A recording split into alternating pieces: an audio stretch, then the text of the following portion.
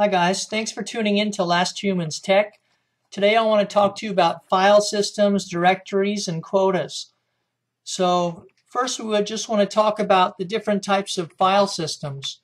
So you have your EXT2, which is an older Linux file system. It has a max 2 terabyte individual file size and a max 4 terabyte volume size. This is a fairly older file system and one of its drawbacks is it has very long recovery times. Next came the EXT3, the Ext3 file system. It was very similar to the EXT2, however it was a journaling file system and it had faster recovery times than the EXT2.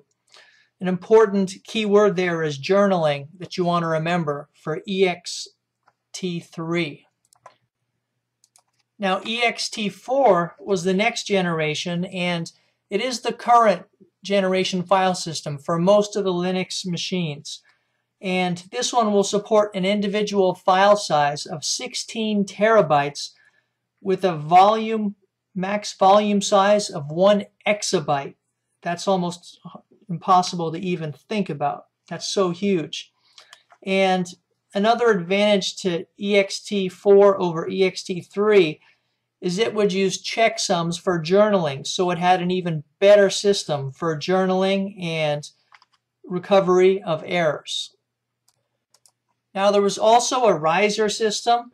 It is a bit older system and it is not compatible with the EXT systems as far as if you have them on the same machine they will not be able to communicate. The Reiser system, just for information, has an 8 terabyte individual file size and a 16 terabyte volume size. It is very efficient, but it is fairly obsolete at this point. Now you can have different ext file systems on each different mount point in your system. So your system does not all have to be the same ext type. You can have varying types depending on your needs. So let's go over your different file mounting points on the system real quick. So you have your slash dev, which is your device files. We did go through this in some earlier lessons. This will have a file for every device on your machine. Let's clear the screen. Then you have your boot directory, which of course is just for boot up. It is all your boot related actions. It is your grub, such as we talked about in a previous video also. You have your home directory, which is for your user storage files, of course. All my user storage files are stored in here in the home. Now you have swap, which of course we cannot CD into. The swap file system is a special type, and a lot of times it is called type 82.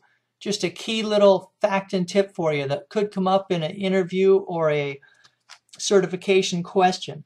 A swap file system is a type 82 file system, and where that number is coming from is when you set up a partition for swap in your fdisk command, you want to select type 82 if you plan to use that for swap later. And generally, the given standard, you do want your swap size to be about twice the size of your RAM or memory. Then we have the temp, which is fairly self-explanatory. It is just temporary files used. Let's go right into your slash USR user and this will include both system and user files.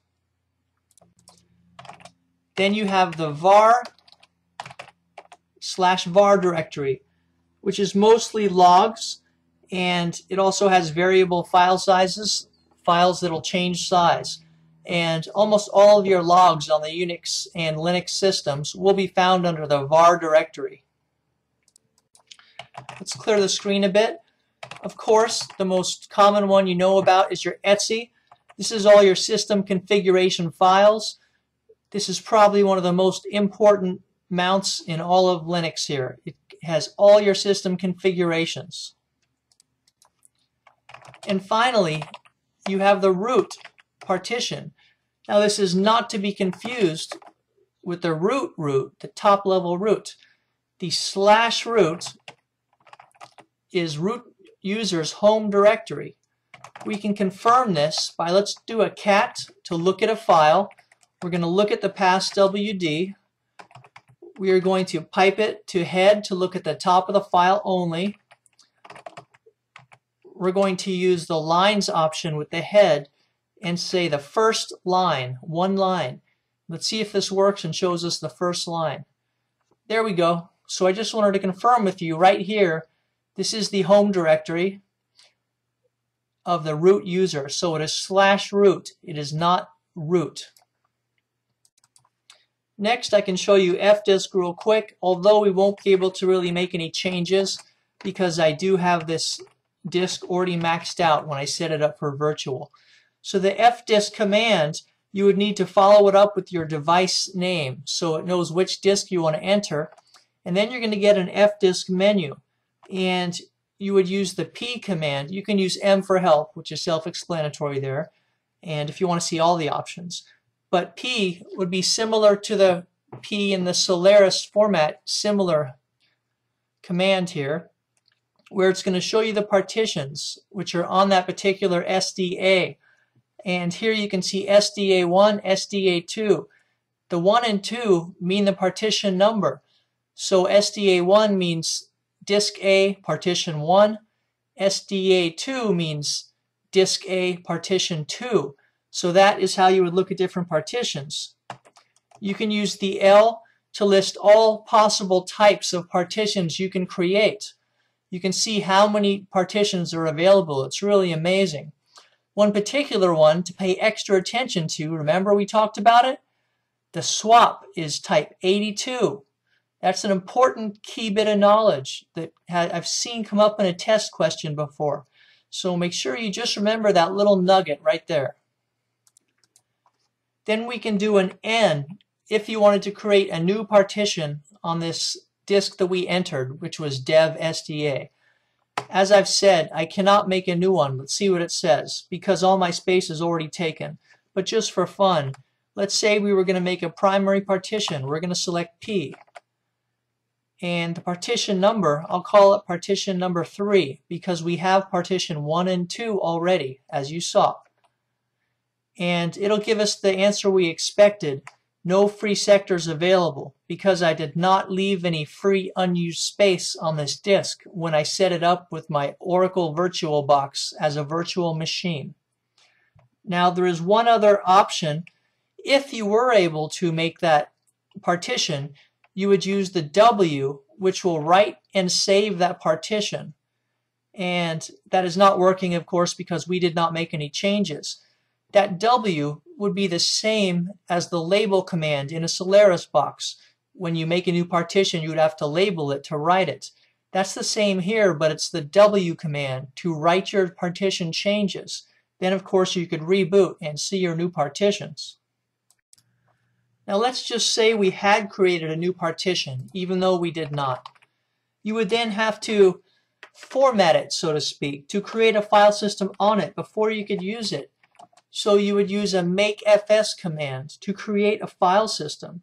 The dash T would be type, so we'd say ext4. And let's just pretend we made a partition 3, which we did not. This is how you would create a file system on that to make it usable. And we should see an error here. Correct. The, SD, the SDA3 does not exist because we could not create it. But after you make any partition, you always have to do a make file system on it with any file type of your choosing, and then a path to the new file system or partition that you created. Just for reference, you could also use the make Reiser fs command if you happen to be using the Reiser file system we talked about earlier. That's just a variation of this command. And one more command you would have is your make swap. Now remember, if you were going to make swap on a particular directory, you would need to have specified partition type 82 in your fdisk as you created that partition, or it would not work as swap. Let's just say that we had made the swap and made the file system. You would then need to use the command swap on with your new partition path there to activate that swap. let's just go over the mount command, even though we don't have anything to mount right now. You would need to mount that file system, and you would again use a T for type, ext4. Let's just say this wasn't a swap, so you could mount it, as swap itself is not really a mountable file system. So that is the format you would use. The mount, the type, your raw disk path, and then where you wanted to mount it. The slash mount MNT is just a general temporary type of mount that a lot of people use if they just want to mount up a disk temporarily. Now do note that if you do use a mount command, after you reboot your machine, that mount is going to be gone. In order to have it stay, you would have to add it to the fstab file. This is a system configuration file under etc which handles the disk and system mount points. So you can see here just as an example, it's all root here, basically one large disk, the way I set it up virtually. But you can see that the fstab shows a file type, ext4, and it shows a swap type for this particular file system. Let me show you one thing real quick here. If you wanted to set up quotas for this machine, after the defaults option, you would use user quota and you would use group quota also if you wanted to set up group quota. So you would add those two options to your defaults line here which shows your various options and you would then save and reboot and your quotas would be enabled on that particular system. But since we're not going to do that, you can see I'm still in insert mode. I'm going to escape out of VI to go to command mode. I'm going to go to colon to go to command line mode at the bottom there. And I'm to quit exclamation, which means quit without saving. If you had a W in there, you would be saving the file, and I do not want to do that right now. And after the system had reboot, let's say you had added those user quotas in there, you would use the ed quota command with a dash u to specify user and your username. Now this machine I know does not have that command currently installed, so I cannot show you this. But the ed quota command is very important. It's in some exam tests and certifications. Make sure you know the ed quota command is how you set up disk quotas for a particular user. Finally, let's look at the most common way to look at your disks here. A df-k is probably the most common command that everybody uses. And this is a quick layout of all the systems and your disk space and how full it is. You can use a df-h to show it in a more readable pattern where it'll show G's for gigabytes and M's for megabytes. And so the dash H you can throw in which just makes it easier if you're kind of a more gigabyte, kilobyte type of guy. Or you can look at the raw numbers up above. Now you can check the inodes with the dash I option. So you should really know all three of these options for the df command. And this is going to show you available inodes. See that? So it has inodes, inodes used, inodes free, and the percentage of inodes. Because it is possible to use up all the disk inodes and not have your disk completely full. How this would happen is if you had tons and tons of tiny, tiny files, each file would use an inode and it wouldn't necessarily use up all the space on the disk. So you really got to find that comfortable balance between inodes and disk space. The last command relating to the disk here would be disk uh, du, disk usage.